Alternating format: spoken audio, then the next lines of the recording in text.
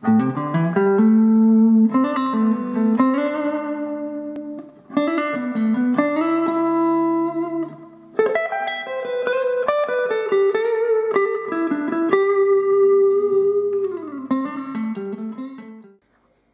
everyone, thanks for watching. Uh, it's a beautiful sunny day here in England and I'm here to talk to you today about PRS guitars, specifically wood libraries and specifically ten tops. So I have here in my hands a beautiful McCarty single cut 594. It's a wood library model and it also has a nice quilted maple 10 top. Um, first things first, we need to talk about maple. So there's two species of maple used by PRS in guitars. The first is Eastern maple or hard rock maple. That's used on the S2 lines, most CEs and the old McCarty model. Um, ten tops are almost always the other species of maple, which is Western maple or soft maple. Um, for example, Western maple is the only species that will ever contain quilts, Um, and in Paul's words, it's more pretty. Uh, now that's not derogatory in any way, that's totally subjective, that's Paul's opinion. I've seen some stunning CEs and some stunning old McCartys. Um, however, the tone buffs out there might say that hard rock maple or eastern maple sounds better. Um, it was certainly the species used on the old Gibsons from the golden era and it's why it was chosen for the original McCarty model um, for those tonal properties. So, first things first, 10 tops. Um, the rumour that just won't go away is that the 10 top is the top 10% of maple that comes into the PRS factory. That's never been the case, it's not true, it's an urban myth that sounds feasible, which is probably why it's hung around for as long as it has, but it's not true. Um, PRS's own definition of a 10 top is a piece of maple that shows uniform and consistent figuring across the top with no dead spots. Um, there's plenty of evidence out there that suggests the top 10% thing is pure fabrication. So if we look back at the model history a little bit, um, PRS was founded, PRS proper was founded in 1985. Almost straight away, a colleague of PRS said, you've got some really pretty guitars coming out here, you're not charging enough for those exceptional ones. So in 1986, the signature line was born. Um, those signature guitars used exceptional maple tops um, and if you can find one, they are absolutely stunningly beautiful guitars. However, there was still a gap. You had the run-of-the-mill tops, at, you know, the PRS Custom, and then you had the PRS Signature line way up top. So in 1987, 10 Top was founded as an option, which sat somewhere in the middle. So straight away, that top 10% thing just doesn't work. It's the definition, which shows says nothing about intensity of figuring, it's only about the consistency of figuring on a top. So if we take a look at some examples here, the first one we're going to look at is a regular core guitar. Um, as you can see there is some spectacular figuring on this, but there's a couple of dead spots I'm, I'm thinking on the lower horn and on the treble side just above the pickup ring you can see a couple of bare patches and despite being really beautiful top full of character it doesn't fit that 10 top definition. Now if we look at this one 10 top consistent figuring across most of the top however there is a bit of a dead spot in my opinion, just behind the bridge here. And the reason for that is 10 tops are graded before they're carved and before they're painted.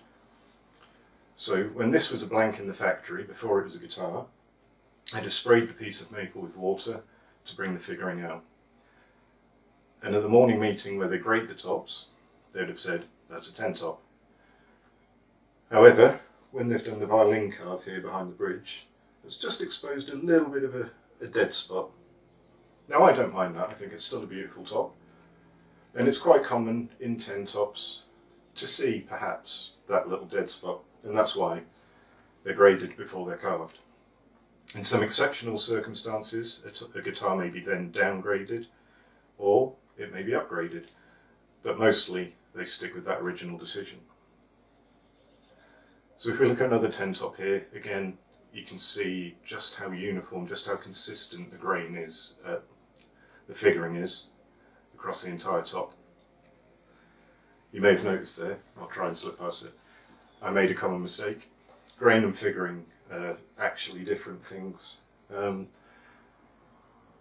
quilt maple, flamed maple, what people are talking about is the figuring. You can often see, if you look closely, the grain running perpendicularly to the figuring.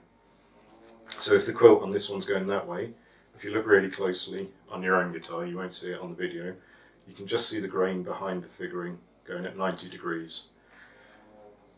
Um, minus DKP for me there. So the next one we're going to look at is an artist grade. Now earlier in the video I said signature line was introduced in 1986. That ran until 1990. In 1991 the Artist 1 series replaced the signature line.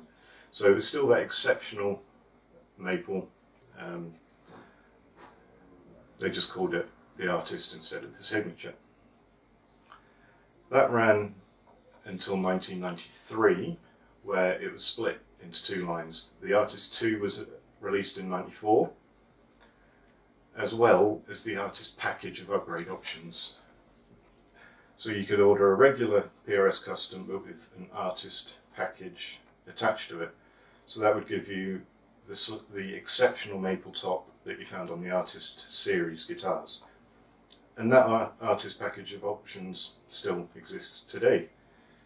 Um, it's a significant upcharge over a regular core model, but you get a few other goodies thrown in as well as the exceptional maple top. So fast forward another couple of years to 1996 and private stock was introduced.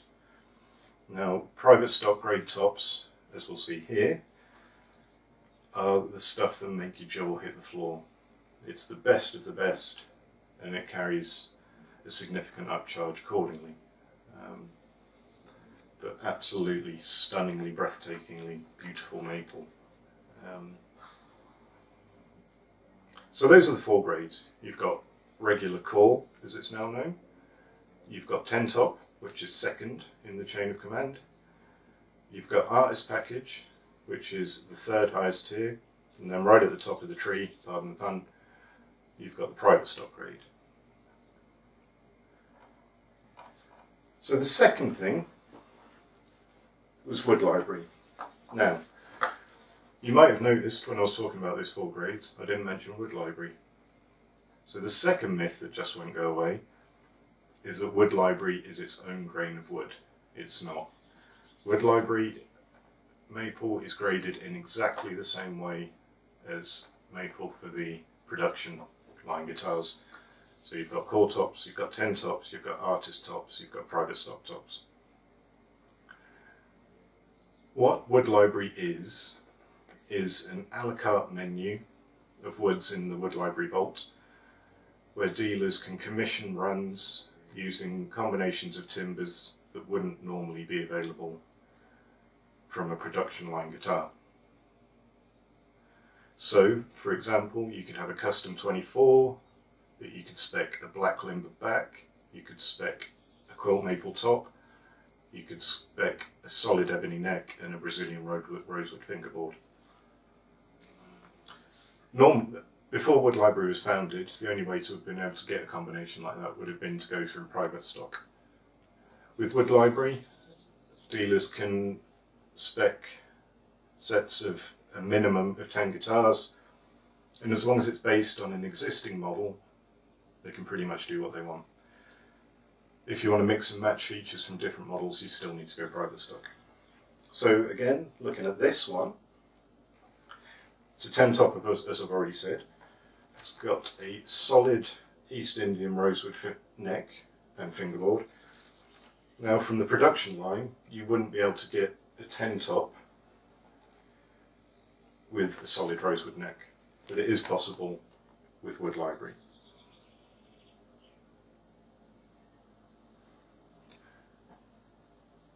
Just on the screen here we've got a couple of other Wood Library guitars, just to show that some of the poss possibilities that can be ordered. And officially, there's a train of thought that even though the maple tops are graded in the same way as the production line guitars, they might use the slightly more pretty end of the scale. So for a quilted 10 top, this is a good one. It's probably verging on artist grade. But PRS will neither confirm nor deny that.